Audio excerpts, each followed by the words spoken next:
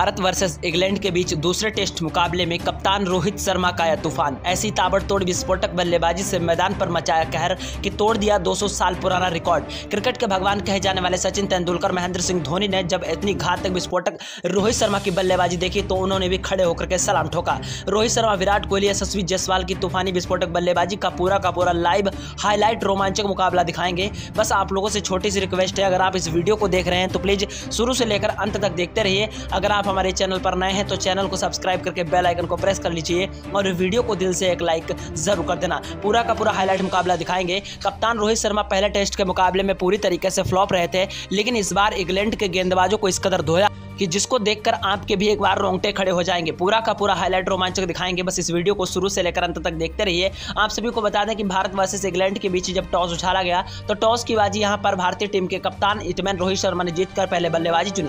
जहाँ पर रोहित शर्मा, यशस्वी जायसवाल बल्लेबाजी करने के लिए मैदान पर कूद पड़े, जहाँ पर इंग्लैंड के गेंदबाजों के इन बल्लेबाजों ने शुरुआत में ही परखच्चे उड़ाने शुरू कर दिए। रोहित शर्मा ने पहले ही ओवर पर छक्का लगा दिया। पहले ही एक ओवर में आप सभी को बता दें, यहाँ पर इकतीस रन ठोंक डाले।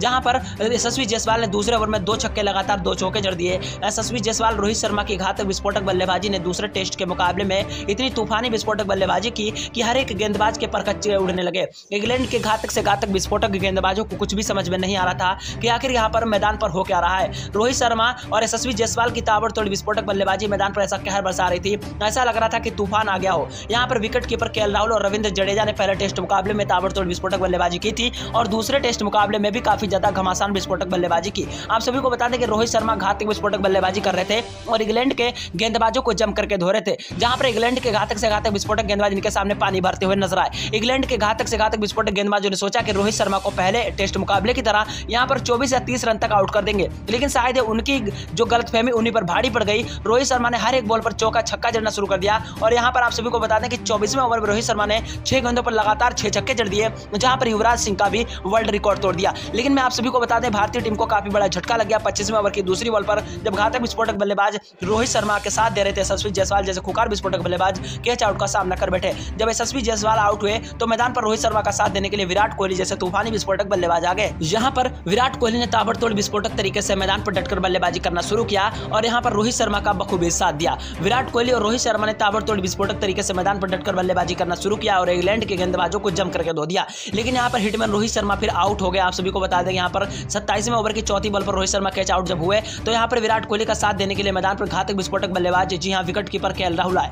यहाँ पर विकेट कीपर के राहुल ने विराट कोहली का बखूबी साथ दिया और इन दोनों बल्लेबाजों ने मिलकर ताबड़तोड़ विस्फोटक तरीके से मैदान पर डटकर बल्लेबाजी की। विकेट कीपर के राहुल काफ़ी खुकार विस्फोटक बल्लेबाज है। विकेट कीपर के राहुल की बल्लेबाजी देखकर यहाँ पर इनके ससुर जी यानी कि सुनील शक्ति काफ़ी ज़्यादा खुश थे और वो जमकर के जो है विकेट कीपर के राहुल के लिए तालिया का स्वागत कर रहे थे। विकेट कीपर के राहुल ने पहले टेस्ट के मुकाबले में छियासी रनों की नाबाद पारी खेली थी और रविंद्र जडेजा ने सतासी रन ठोके थे। विराट कोहली ने काफ़ी अच्छी बेहतरीन बल्लेबाजी की और इकसठ रनों की नाबाद पारी खेली। जहाँ पर विराट कोहली भी आप सभी को बता दें कि पचपनवें ओवर की चौथी बॉल पर कैच आउट का सामना कर बैठे। जब विराट कोहली, रोहित शर्मा और यशस्वी जायसवाल जैसे खुकार विस्फोटक बल्लेबाज आउट हुए तो यहाँ पर विकेट कीपर के राहुल का साथ देने के लिए मैदान पर घातक विस्फोटक बल्लेबाज की वापसी हुई। जी हम बात करने वाले श्रेयस अय्यर की, जहाँ पर सुमन गिल को बाहर का रास्ता दिखा दिया गया है, क्योंकि सुमन गिल लगातार हर मुकाबले में फ्लॉप रहे हैं। आप सभी को बता दें कि जब यहाँ पर श्रेयस अय्यर बल्लेबाजी करने के लिए आए विकेट कीपर का साथ देने के लिए आए तो श्रेयस अय्यर ज़्यादा देर तक मैदान पर टिक नहीं पाए और लगभग बाईस रनों की नाबाद पारी खेली और एबी पवेलियन का रास्ता देख गए। लेकिन अभी मैदान पर एक ऐसा बल्लेबाज था जिसने मैदान पर आते ही सभी गेंदबाजों के परखच्चे उड़ाने शुरू कर दिए। जी हम बात करने वाले हैं रविंद्र जडेजा की।